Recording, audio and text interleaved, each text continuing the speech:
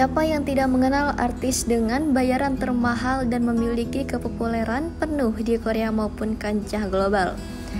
Yaitu Song Ye Kyo. Song Ye Kyo tidak hanya cantik, kemampuan aktingnya pun selalu menjadi perhatian bagi para penonton K-drama untuk terus mengikuti perkembangannya di industri hiburan Korea.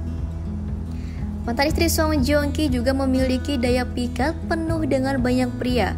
Seperti baru-baru ini, rumor kedekatannya dengan Jang Kyung beredar luas di media sosial setelah tamatnya penayangan drama mereka Now We Are Breaking Up. Jang Kyung dan Song Ye Kyo terus-menerus menjadi bahan pemberitaan setelah beradu akting bersama. Chemistry keduanya yang begitu kuat di layar kaca maupun di balik layar membuat semua orang berspekulasi keduanya memiliki hubungan spesial. Bahkan ketika Jang Kyung melaksanakan wajib militer, Song Ye Kyo menyempatkan waktunya untuk berkunjung menemui sang aktor. Entah mengapa mantan istri Song Joong Ki ini sering sekali terlibat rumor cinta lokasi dengan rekan kerjanya.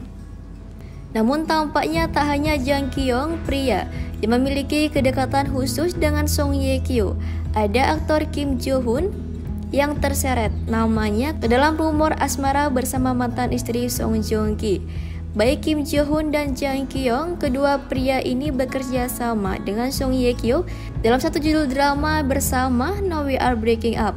Nampaknya drama tersebut membuat pertemuan tak terduga mantan istri Song Joong Ki dengan berbagai pria tampan.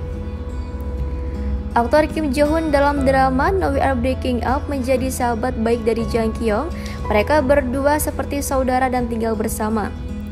Masih dari Kabijum, Senin 11 April 2022 sempat terlihat pada Instagram story Song Ye Kyo membagikan momen saat dirinya menonton panggung musikal yang dimainkan oleh Kim Jo Hoon.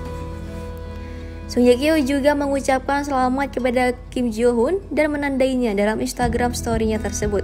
Hal tersebut langsung menjadi ramai diperbincangkan di media sosial ketika Song Ye Kyo juga berkelakuan manis tidak hanya dengan Jang Kyung.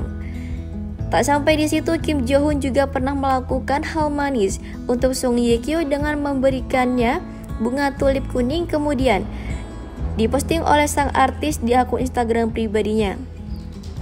Kim Jo Hoon sekarang sedang terlibat proyek drama baru bersama Park Yoon Sik dan Han So Hee di soundtrack 1. Namanya semakin terkenal setelah membintangi drama Dokter Romantik 2 di tahun 2022. Beberapa penggemar setia Song Ye Kyo selalu mendukung keputusan sang artis dan selalu berharap kebahagiaannya berlanjut setelah perceraian dengan Song Joong Ki yang menyebabkan idolanya pernah berada di posisi terburuk.